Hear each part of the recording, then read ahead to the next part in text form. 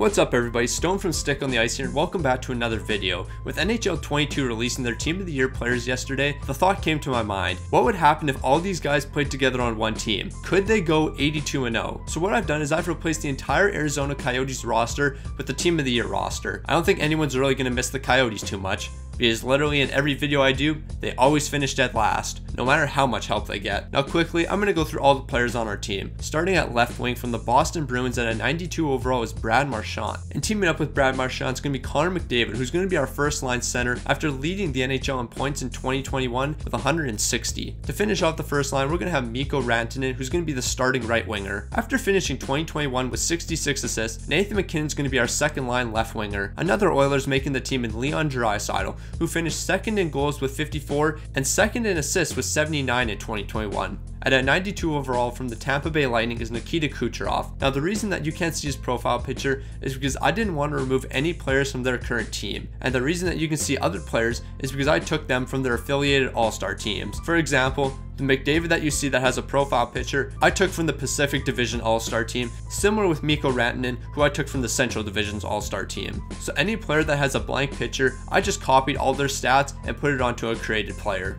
At a 93 overall, the great 8 Alexander Ovechkin is going to be our third line left winger after scoring 46 goals in 2021, while Alexander Barkov, he's going to be our third line center. To finish off the third line, 90 overall Mitch Marner is getting the start at right wing. To finish off the forwards, we have Artemi Panarin, who's going to be our fourth line left winger. Auston Matthews is going to be the fourth line center, scoring 61 goals in 2021, and Pasta is going to be our final forward, sliding into the final right wing spot. Taking a look at our defense, from the Tampa Bay Lightning, Victor Hedman is going to be our number one guy after scoring 78 points in 2021. Tied with him at 78 points is last season's Norris Trophy winner and new defensive partner Adam Fox. From the Pittsburgh Penguins and the only Penguin on this team at an 87 overall, Chris Letang. Teaming up with Chris Letang on the second defensive line is going to be Cale Makar, who finished with 70 points in 2021. To round out our final defensive pair, we have 87 overall Shea Theodore pairing up with 90 overall Roman Josi. Also, if you haven't already, make sure to subscribe. 75% of the people that watch my videos aren't subscribed. I'm trying to hit 7,500 subs by the end of the month, and I can't do that if you don't subscribe. And drop a like. Let's get 500 likes on this video.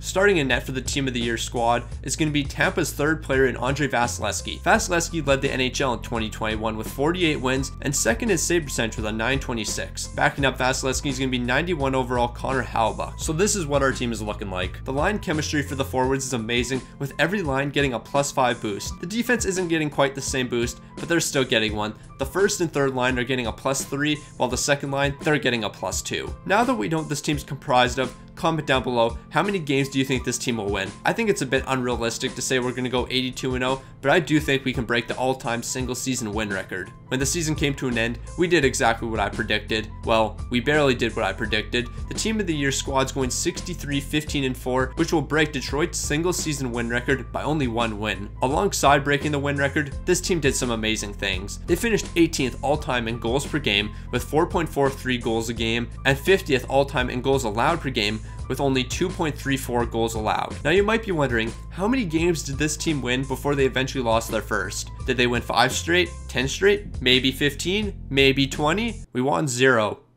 We lost the very first game of the season. We lost 3-1 to Columbus. Yeah, that's a bit underwhelming, isn't it? Looking at the top scores from this team, I'm pretty surprised. Nathan MacKinnon's leading the way with 48 goals and 54 assists for 102 points. That I'm not surprised about. Coming in second Brad Marchand with 41 goals and 42 helpers for 83 points. Maybe a bit underwhelming, but he was still over a point a game. And to round out the top three is going to be Draisaitl with 31 goals and 41 assists for only 72 points. Now, I was expecting more from you, but out of all the surprises, I think McDavid's lackluster season was the most surprising, with him only recording 28 goals and 43 assists for 71 points. No cap, I was expecting like 150 points from him. The disappointment continued for guys like Nikita Kucherov, who's only picking up 57 points, Auston Matthews, who's only scoring 52, and Ovi, who's only picking up 51. I understand some of these guys weren't playing on the first line anymore, but with all the talent on this team, you basically were playing on the first line. However, the one thing that wasn't disappointing was our goalie situation. Vasilevskiy was fantastic, picking up 42 wins while posting a 912 save percentage